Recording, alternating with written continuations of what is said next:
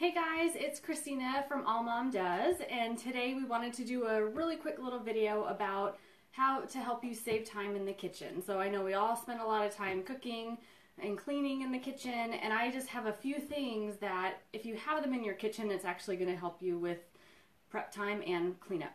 Um, if you have any tips, go ahead and comment to share with us so that we can all save time and effort in the kitchen. So one of the first things that I love, and I learned it from Rachael Ray back when I used to have time to watch the Food Network, um, is a garbage bowl. So when I'm cooking, when I'm prepping my food, I will put all my garbage in a bowl so you don't have to go to the garbage can. Usually what I put in here is like the vegetable, like the garbage vegetables and things like that, so I can just run it out to yard waste. Um, now they actually have those compost bins that you just keep on your countertop, and then you can put the top on so you don't have to be running that out all the time. But it's a great time saving tip, and it really improves your cleanup time.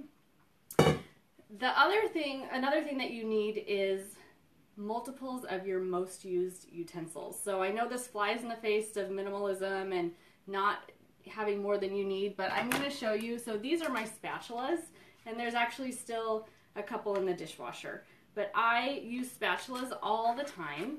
I make my son an egg McMuffin for breakfast every morning, and then I probably make my daughter a grilled cheese and for lunch. So I'm just using a lot of spatulas. I don't want to have to clean one if I need one. So just make sure you have a lot of your most used utensils. So I also have a lot of wooden spoons, things like that. But then the things that you don't need, of course, you know, you only need one or two of those things. Here's another fun tip that I have.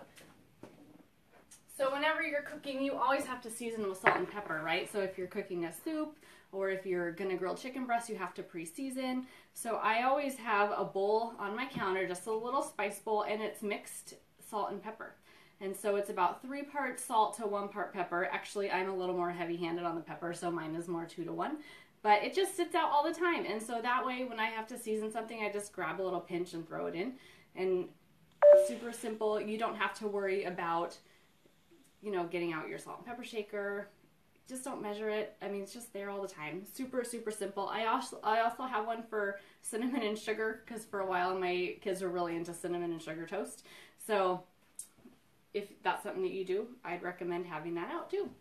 Um, another thing, obviously a lot of you probably already have this, but if you don't have an oil bottle, I would strongly recommend getting one. It's so easy to just have on the counter and just kind of dump into your pan when you're cooking. So I know this is a pretty popular item. Most people already have it, but if you don't, run out and get them. They're not expensive and it really does save you a lot of time. here's a here's a, another one that I really really like is parchment paper. So yes, there's a little more waste if you use parchment paper, but I hate hate hate cleaning cookie sheets and pans and I, I just I hate doing dishes is the long and short of it. And it's so hard especially when things are baked on. Parchment paper makes it so easy. You just put it on the top of your baking sheets and then you bake cookies or you bake your chicken breast, whatever you're baking, and it's not gonna, you know, get all crusted onto your your baking sheet, making cleanup a whole lot easier. It's gonna go a whole lot faster.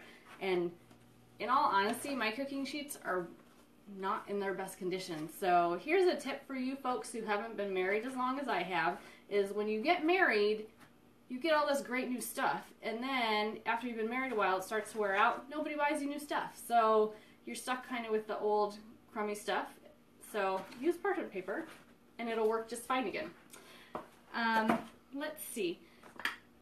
I also like having a really good collection of high quality glass containers in my cupboard and there aren't very many here because a lot of them are in the fridge holding leftovers, but it's just so much easier than that that cabinet that's full of you know plastic containers and you can't find the lids and it's nice that they kind of nest more and it's also really great because when you're heating up your leftovers just go straight into the microwave and then you can actually just eat straight out of it so that way you're not oh I have a visitor my three-year-old has decided to join me uh, so I lost my train of thought. Oh, so that way it's less dishes. You don't have to worry about. Okay, just a minute. I'll get you a granola bar. Just a minute, sweetie. Uh, so that way you don't have to do as many dishes. It's also um, you can eat straight out of it. So it just kind of saves you time as far as rooting around finding dishes for your leftovers and then also for reserving it later.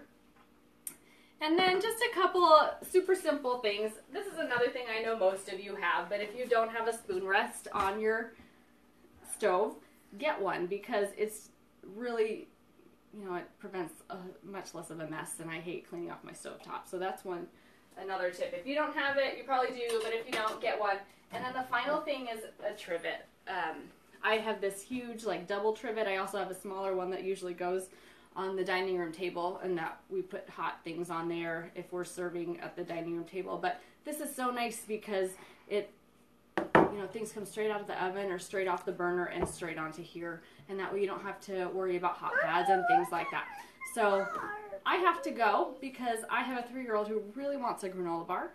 But I hope these tips are going to save you some time in the kitchen. And if you have tips yourself that can help us all, um, you know, motherhood is best done in community, and we all have secrets and tips that can help each other out. So please share generously and put them in the comments below. Thank you.